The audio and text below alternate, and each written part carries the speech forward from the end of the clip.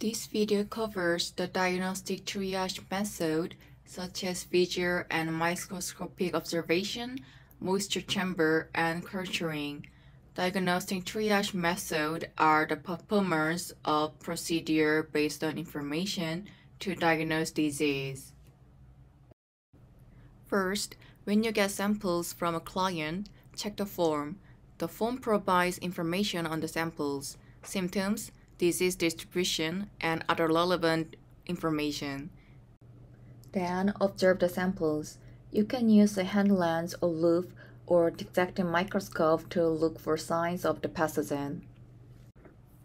If symptoms or signs are not clear, you can make a moisture chamber. Prepare wet paper towels, a plastic bag, and a labeling pen.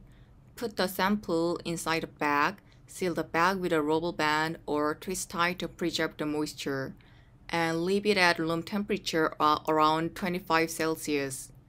Check the samples for symptom or sign every day. Then you can see clear symptoms or signs.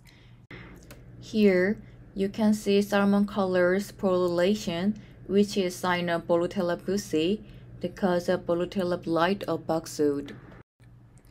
After the visual observation, you can check the sample with a microscope for fungal or bacterial pathogen.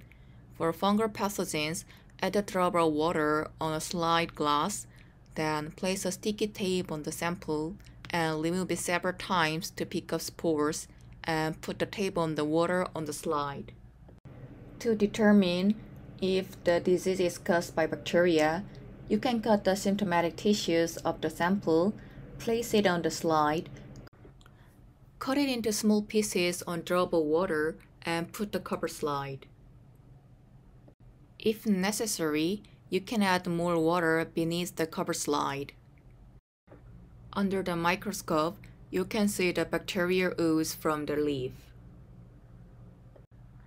For a specific diagnosis, culture the pathogen on a plate.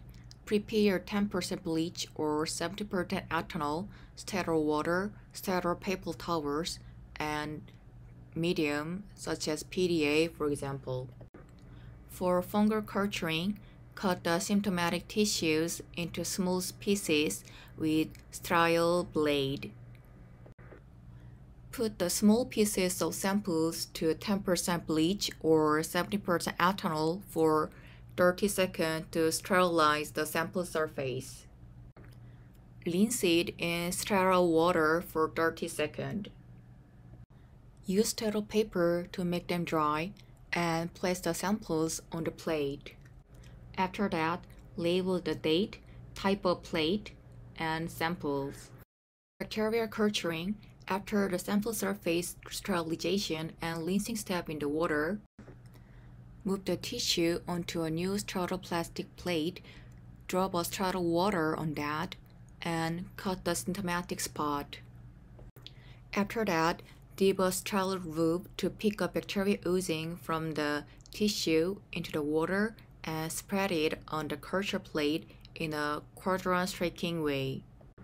In this method, the plate is divided into four equal sectors and each sector is streaked sequentially to dilute the bacterial number.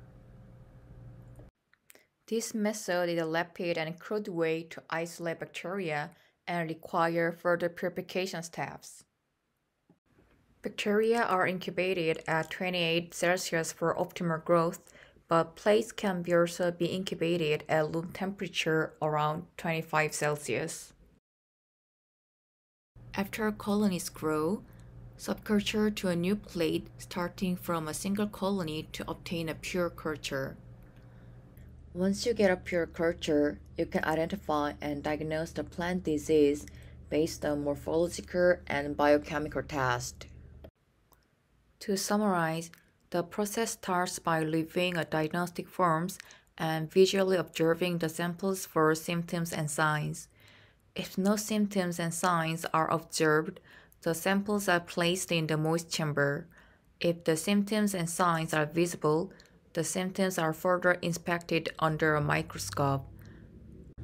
Lastly, the samples are cultured for disease identification.